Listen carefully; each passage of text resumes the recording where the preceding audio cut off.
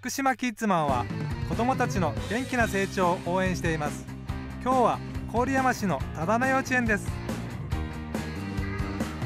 子どもたちは積み木でピラミッドを作っていたよ。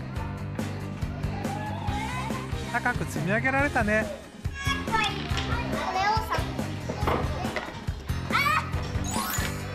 外ではキッズマンと一緒に尻尾取りゲーム。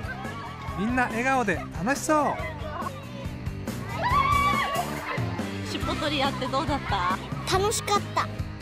早いキッズマンさ大きくなったら何になりたい？パン屋さん